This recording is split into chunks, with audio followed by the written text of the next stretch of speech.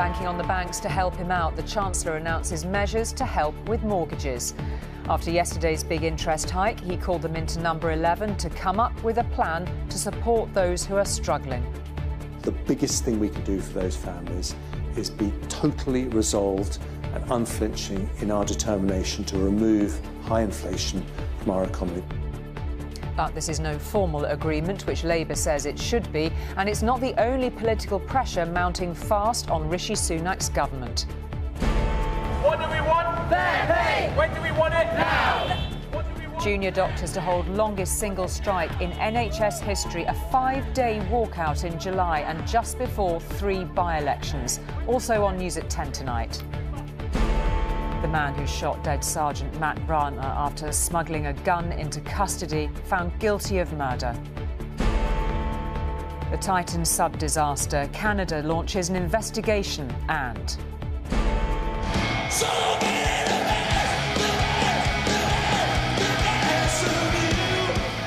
How Foo Fighters were smuggled into Glastonbury and the crowd went wild.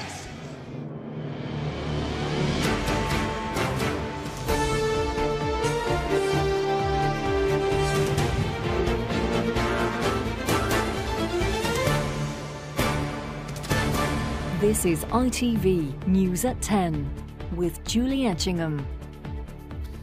Good evening. Two major issues are tonight crystallising some of the growing difficulties facing Rishi Sunak. The NHS and the economy were prominent in his famous five priorities back at the start of the year. Six months on, they're both beset by problems. The NHS in England once again faces disruption next month when junior doctors walk out for an unprecedented five days. More on that in a moment. But today, the Chancellor Jeremy Hunt was forced to step in to soothe fears of rising mortgage repayments. After meeting the major banks and lenders, he agreed a series of measures to try to protect mortgage holders from soaring interest rates aimed at combating stubbornly high inflation measures which did not, however, impress the government's critics. A group of top bankers, among them the boss of Lloyds, summoned to a meeting with Jeremy Hunt. What did you say to the Chancellor? Good working level discussion. A good discussion, he said. Others described it as productive, with pledges of help for those facing spiralling payments. So, what's actually been agreed? In future, borrowers will be able to extend their mortgage term, but within six months revert to their original deal without a penalty. There'll be a minimum 12 months before any home is repossessed, and if you talk to a bank about financial difficulties, there'll be no impact on your credit score. But what about tax relief or other direct government help? The Chancellor's ruled that out. The biggest thing we can do for those families is be totally resolved and unflinching in our determination to remove high inflation from our economy. That is the Prime Minister and my number one priority because we know that is the best thing we can do to give people security, to put money back into people's pockets and to get the economy growing. The idea that homeowners should get a tax break has been mooted by some Tory backbenchers. Most economists disagree, as does this former Treasury adviser, But he also believes what's been announced today is essentially fine tuning. Banks are already obligated by the FCA to show forbearance to lenders, whether that is you know, offering to extend the terms of loans or switch, switch to an interest-only mortgage. So that system is in place today. I think what the Chancellor announced probably today is sort of bells and whistles that sit on top of that, but it's not a fundamental reform. Charlotte Town and her partner already have a 33 year mortgage. Extending it is not an option, and she's fearful of the cliff edge they'll soon face. Our mortgage payments at the moment are 1650 um, and based on the rates out at the moment our mortgage repayments would go up by at least thousand pounds a month so it's quite a substantial increase with the risk of it going up further between now and when our when our rates are due to expire. The Labour leader visiting an airbase in Oxfordshire said a voluntary agreement wasn't enough. Making it mandatory, making it the lender's duty to do this is, I think, an essential part of this. And I think the government's sort of saying, well, we hope for the best. We hope that some mortgage lenders do the right thing. That's not strong enough in a situation like this. But the Chancellor believes after today, the vulnerable will be better protected. Libby Wiener, News at 10, Westminster. Well, the five days of strikes called by junior doctors in England in their dispute over pay fall in the middle of next month. According to the BMA, they formed the longest single walkout by doctors in NHS history. Downing Street said the strike puts at risk both patient safety and the government's efforts to cut waiting lists. They walked out in March, then April, and June. But now junior doctors are planning the longest strike in NHS history. Five days in July that is likely to silence operating theatres like this one. Closed down in a previous strike as each one disrupts procedures and appointments for tens of thousands of patients. They say it's about pay, but also the pressure of staff shortages. It's demoralising we come home in despair many days, and that's not a condition that we should be working in. It's not a condition that doctors or patients are thriving in. Over the last 10 days of junior doctor strikes, there have been a total of 476,120 hospital appointments cancelled. The average cancellations per strike day was almost 48,000. This compares to an average of just under 15,000 cancellations per day of nursing strikes. It's terrible news for NHS trusts, with some spending £2 million preparing for the last three day strike. How bad is this? This is bad. I think we all felt our, our hearts sink when we saw the, the duration and scale of this. And this can't continue at a time when the NHS needs and wants to drive down the time that patients are waiting. He suggested mediators be brought in to break the impasse between the Health Secretary and doctors. Steve Barclay has offered a 5% pay rise. They want 35% to make up for real terms pay cuts. Sources on both sides suggest little hope of a quick resolution. All of this could turn into a nightmare for Rishi Sunak. Cutting NHS waiting lists is one of his five key pledges. But this strike finishes just two days before his party faces three critical by-elections. So who do voters blame? Both of them may be at fault. In northwest London there were mixed views, but agreement that there needs to be a solution because these strikes will be quite painful. I think they should have enough money to pay the doctors. They do deserve to get on this strike. I mean, they, they're not really getting paid. The government said it was disappointed about the action in a month that will see strikes from teachers and railway workers too, and maybe senior doctors. But they'll be relieved about one thing a nurse's ballot is expected to fall just short of the threshold needed for them to walk out too. Anushka Asthana, News at 10. Well, the timing of the latest round of strikes is pretty awkward for the government, with those key by elections looming. The British Medical Association says the junior doctors' walkout will start at 7am on Thursday, the 13th of July, and end at 7am on Tuesday, the 18th. Later that week, there's also fresh action affecting 14 train operators on the 20th, 22nd, and the 29th of July. All this at a time when the Conservatives will be vying to protect three seats in those by elections, including, of course, the one vacated by Boris Johnson. And Libby's with me here to talk through this, this sort of pile of problems mounting now for the government. And some of these sort of a rod for the Prime Minister's own back created by himself six months ago with these pledges. Yes, five pledges, and it does look tonight as though there is a serious doubt as to whether he's going to be able to meet two of them at least. Uh, one of them halving inflation, the other being getting hospital waiting lists down. Now, inflation remains stubbornly high, and although the Bank of England raised its interest rate yesterday to try and deal with it, uh, the Prime Minister also effectively admitted that he thought that was the only lever to try and control inflation, and it was out of his control. A very difficult thing for a Prime Minister to concede. Um, when it comes to the NHS, we've just heard as to how disruptive these doctor strikes have been for the NHS. Um, five more days of strike action planned. And I think for people on hospital waiting lists, a very worrying prospect, and the opposition parties will rightly be able to claim that waiting lists are going to get longer, not shorter, as a result of this. Now, at the start of this week, um, we saw that uh, Boris Johnson could only muster seven votes in that crucial debate on the Privileges Committee report into his conduct. You'd think that would, uh, in a sense, be a cause for celebration in number 10. And uh, they were very much saying they did want to move on now. But the question is move on to what? More economic pain for homeowners, more worry for people on hospital waiting lists. It's hardly the fresh start that Rishi Sunak would have wanted. Indeed, a long week indeed, Libby. Thank you very much indeed for that.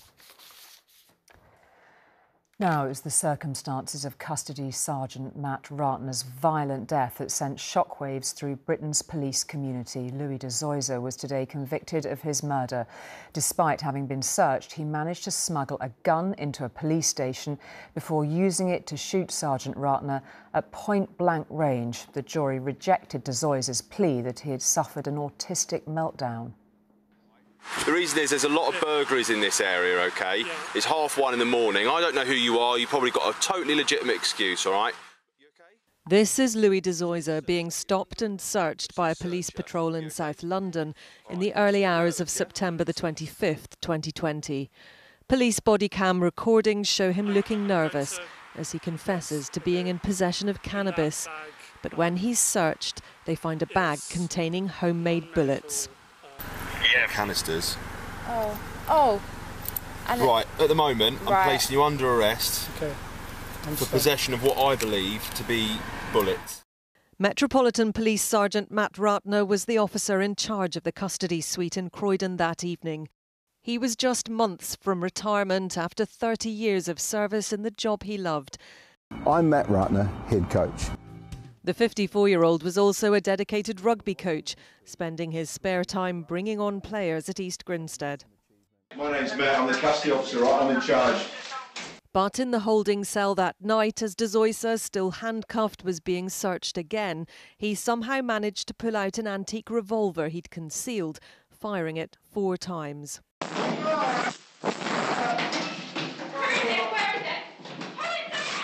The first two shots hit Sergeant Ratana, the third hit the wall as he struggled with the officers who'd arrested him, and the fourth hit De Zoysa in the neck, causing him brain damage.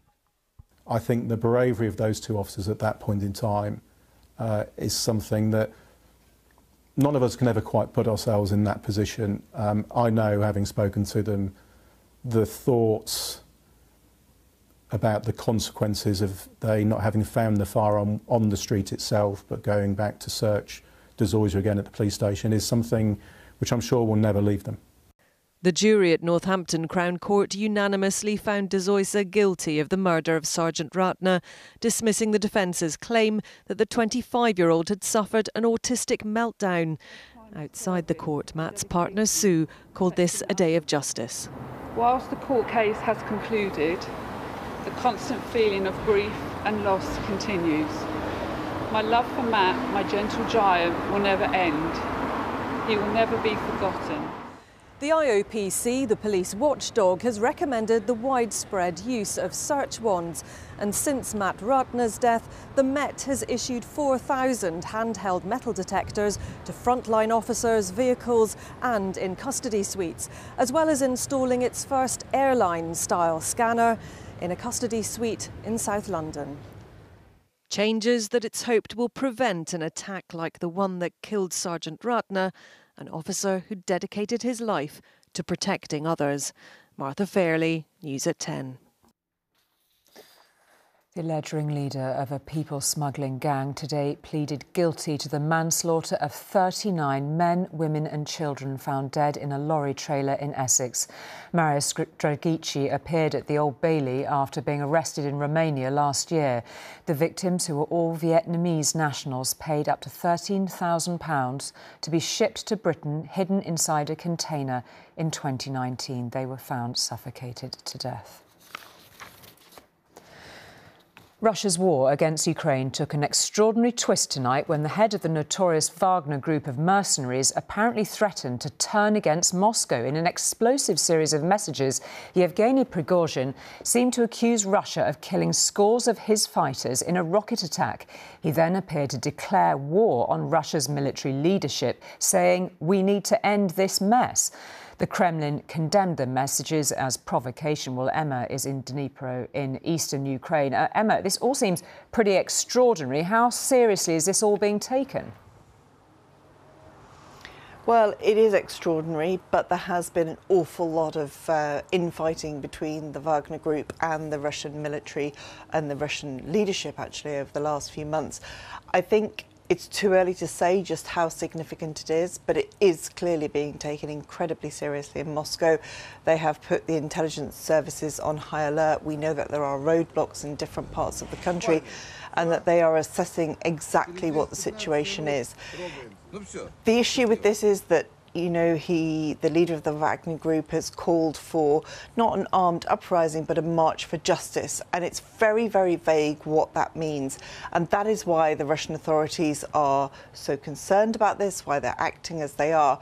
But the whole situation with this war with Russia and Ukraine has been couched in propaganda, in innuendo, in speculation for so long that it is too early, too difficult, and really impossible for anybody to say with any level of absolute authority what is going on. There's no doubt that something significant is going on. This is an important moment, and I know from speaking to sources in foreign governments that tonight they are watching it very carefully, but it would be too soon to say that this is a particularly significant moment in this war and indeed in Vladimir Putin's reign.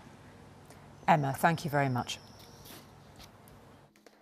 Canada announced tonight it is launching an investigation into the loss of the Titan sub, in which five people, including three Britons, died as they attempted to explore the wreck of the Titanic. Evidence now suggests their submersible suffered a catastrophic implosion as it was descending on Sunday. More tributes were also paid today to those who lost their lives. As investigations into the Titan's catastrophic implosion begin, the failure to address safety warnings is a growing area of concern. Experts had raised their fears over its design and the lack of regulation. But the company behind it, OceanGate, insisted it was safe. Titanic film director James Cameron says concerns were ignored. I think we're also seeing a parallel here with unheeded warnings about a sub that was not certified, where the, the entire deep submergence community actually, or not the entire community, but a large number of them got together to write a letter to OceanGate, the company, and say, we believe that this could lead to catastrophe. Tributes were paid today to the victims. OceanGate founder Stockton Rush has been described as the last of the great American dreamers. British businessman Hamish Harding has been called a passionate explorer who lived for his family, business, and the next adventure.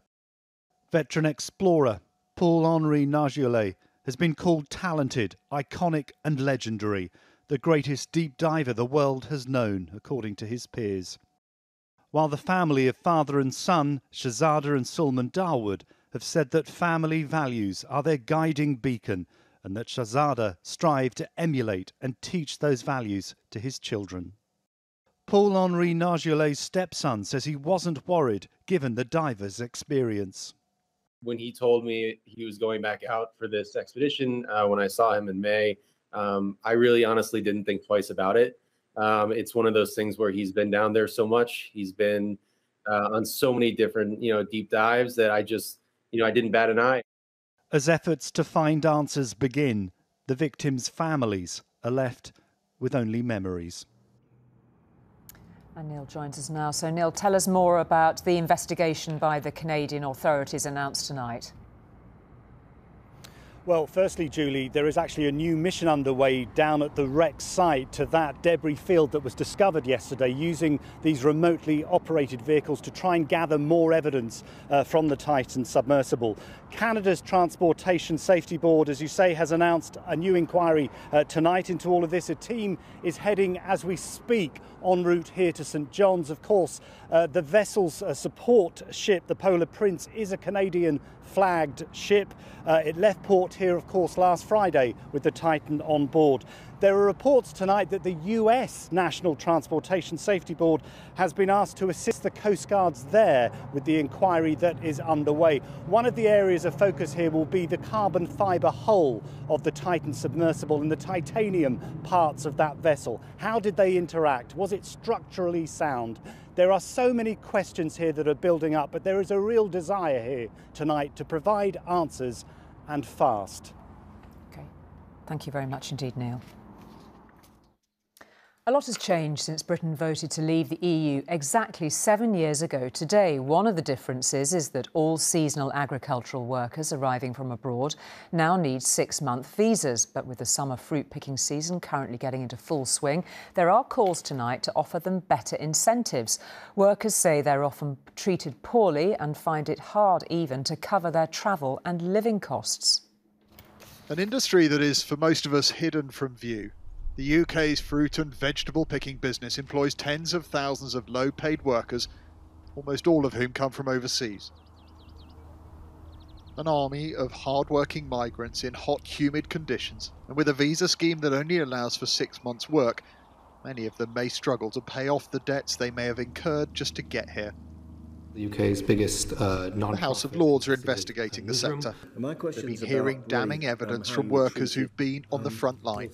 We weren't viewed, um, from my experience, as um, humans. We were more chattel. In the mornings, even when we met uh, to start the day, you were called by numbers, um, which for me is is not how you treat people who you employ. Employers aren't happy either with a seasonal visa scheme that fails to give them what they need. The positive is that we are 100% reliant on a visa scheme for our seasonal workers for, force. Without that visa scheme, the UK berry industry would collapse and disappear. Um, the negatives are that it's clunky. We'd like people to be able to stay for nine months, building up experience, but also earning more money, which is great for the workers. And we'd like them to only have to leave the country for three months so they can come back early for next season. Data shows that the source of migrant workers coming to the UK for seasonal work has shifted dramatically in recent years. In 2019, more than 90% of seasonal worker visas were issued to those coming from Ukraine. This was down to just 23% last year, with a much greater reliance of workers from countries outside Europe, like Uzbekistan and Tajikistan.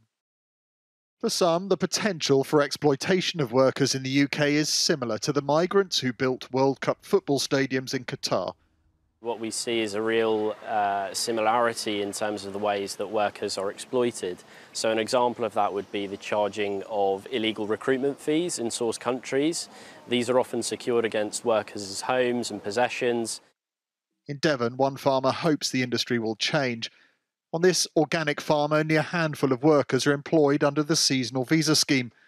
With workers here sharing in the business, the jobs are more attractive to locals. I think we need to see a progressive, iterative change away from this, you know, very large-scale vegetable production um, with some questionable um, employment practices. You know, fields full of caravans, sometimes companies employing hundreds and hundreds of people, uh, where you know there won't be a word of English spoken in the field.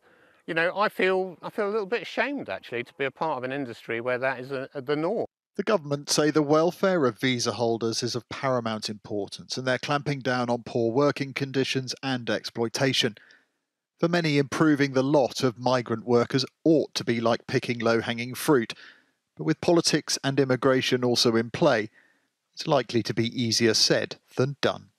Rupert Evelyn, News at 10. The visit to the USA by India's Prime Minister Narendra Modi this week had all the pomp and ceremony you'd expect from a major state visit. Both he and President Biden are facing elections next year, but for Mr Biden it was also an opportunity to draw an important ally away from the diplomatic overtures of Russia and China. The US India relationship is seen by this White House as one of the most significant in the world and the president is seeking to show there can be an axis of democracies in the face of rising autocracy. Toast to our partnership, to our people, to the possibilities that lie ahead, to two great friends, two great nations, and two great powers. Cheers. This is only the third state visit of this administration, and President Biden used it to position India as a power that can compete with and help contain a rising China. And it is in America's DNA, and I believe in India's DNA, uh, that um, the whole world, uh, the whole world has a stake in our success, both of us, in maintaining our democracies, makes us appealing partners, and enables us to uh, expand democratic institutions across around the world. Outside the White House, there was a small protest. And certainly there is concern in the West that Narendra Modi's India is embracing Hindu nationalism and failing to protect the rights of India's Muslim minority. In Congress, that was largely overlooked, with China the far greater concern. And Modi played to that sentiment to rapturous applause. Together, we shall demonstrate that democracies matter and democracies deliver.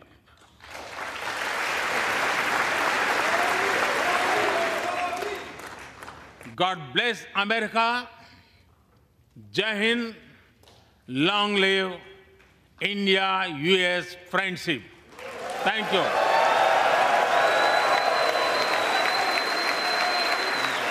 America is simultaneously trying to manage a fraught relationship with China, with the US Secretary of State meeting with President Xi this week. For Washington, the policy towards Beijing is to keep lines of communications open, while urging allies in the Indo Pacific to combat China's military buildup. Even while questions about Modi's commitment to democracy remain, America's more immediate ambition is to boost India as a diplomatic power, hoping to slow China's growing dominance across Asia. Robert Moore, News at 10, Washington. England's cricketers fought back well on day two of the women's Ashes test at Trent Bridge against Australia, of course. They're going to come back for two. It's a brilliant hundred, a brilliant Ashes hundred.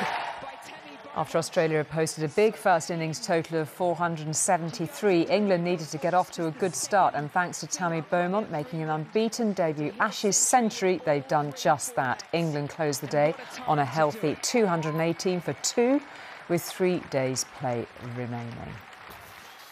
And finally, there was a major surprise at Glastonbury tonight, an unscheduled set by the American group Foo Fighters, making their first appearance at the festival for six years. And if that stole the thunder a bit from the night's headline act, the Arctic Monkeys, well, the delighted crowd didn't seem to mind too much. The Foo Fighters are no strangers to a big crowd dropping by this year's Glastonbury for a surprise performance and paying tribute to late drummer Taylor Hawkins. I'd like to dedicate this song to Mr. Taylor Hawkins.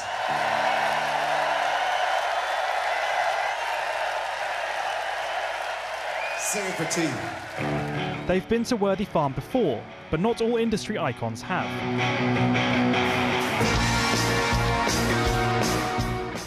At 76, music legend Sir Elton John doesn't have many first times anymore.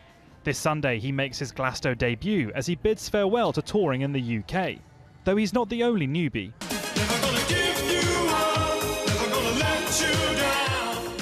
Rick Astley's here for the first time too, and after major singing success in the late 80s, he's planning on lighting up the stage once again. Obviously, we've got headline acts, we've got the pyramid stage, we've got all that going on.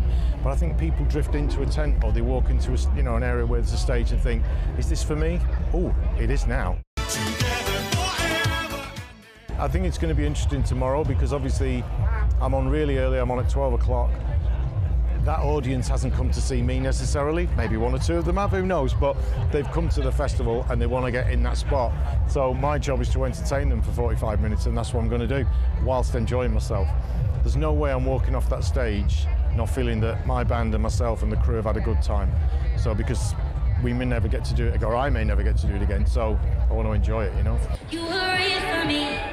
Did I just not do it for you superficially? At just 23, Maisie Peters also inducted herself into the Glastonbury Club. Because of scheduling issues, this year's headliners are all men. Maisie was one of only a few women who will play the pyramid stage. I take that, I'm very honoured and I was very honoured to be asked. I really hope that next year and the years to come, there'll be more women on that stage, as there should. There's so many that should be. The tent's pegged, the stage is filled. For three days of music that'll be heard far and wide. Rishi Davda, News at 10 at Glastonbury Festival. What a weekend ahead. That is it for tonight from all the team here. Good night. Have a great one.